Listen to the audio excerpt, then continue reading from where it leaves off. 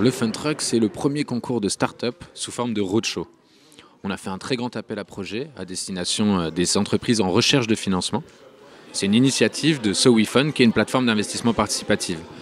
Ce concours, notre objectif, c'est de permettre à ces 20 startups de pitcher, donc de présenter leur projet depuis un camion, d'étape en étape, sous différents parcours, dans les hauts lieux de la finance, dans les hauts lieux parisiens.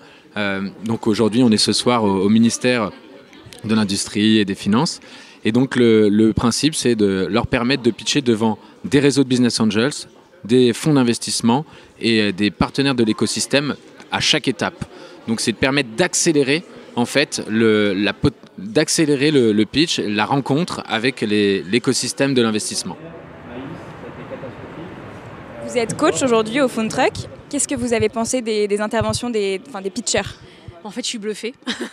je suis vraiment bluffée. Euh, d'abord, je suis bluffée euh, par, euh, par les concepts qui sont en train de développer dans des sujets et des secteurs qui sont, qui sont vraiment à disrupter, comme l'agriculture ou, la fintech. des fondateurs super enthousiastes, brillants, et puis surtout des pitchs ultra clairs. Denis Jacquet, donc pour parrainer la croissance, il y, a les cinq startups là qui viennent de pitcher au Phone Truck. Est-ce qu'il y en a une qui est sortie du lot? J'ai un petit, euh, une espèce de petit atavisme pour l'Afrique pour des raisons euh, très personnelles, mais pas uniquement parce que c'est l'Afrique, mais uniquement parce que je connais le marché. Donc le marché du transfert d'argent est juste monumental. Donc quelqu'un qui sait adresser ce marché a devant lui, il le disait, 4 euh, milliards d'échanges chaque année, vous prenez 5%, vous faites 200 millions. Bon voilà, le marché est colossal, donc ça, je trouve ça assez excitant. The winner.